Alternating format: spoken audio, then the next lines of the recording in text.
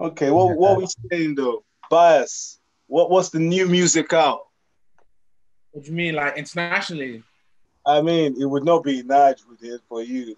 I could be Naija now. I don't know. Yeah. I'm already bumping off heavy.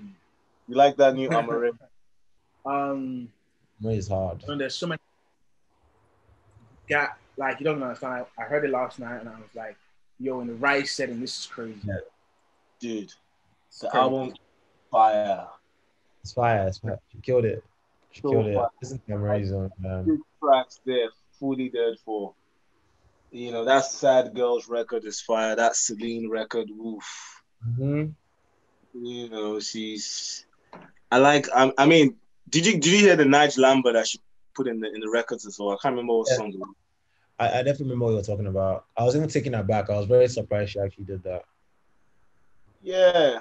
Well, that's I dope. Mean, when they can actually like combine all that is really dope, man. It's the same thing that what um Tems did on Essence. Yeah. You know, like if she didn't speak like pidgin, I don't know if that song may have felt different. Fair.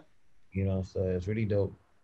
What one of my favorite lines from Tems is um don't call my phone, you're not a madman. Ugh.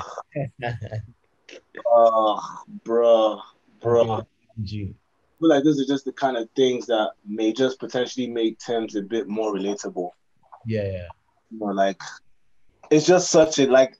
What do you mean? Don't call my phone. You're not a madman. You know, it's just such a, it's such a hard. you know what I mean?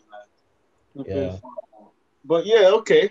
Um, new music, Scribz Riley for me, Mandy, Fire Song. Um, I stumbled across this guy called Odile. He's got this song called 2448. That's mm.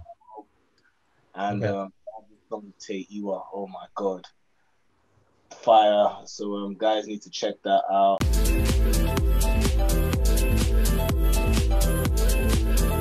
The Alternative Network.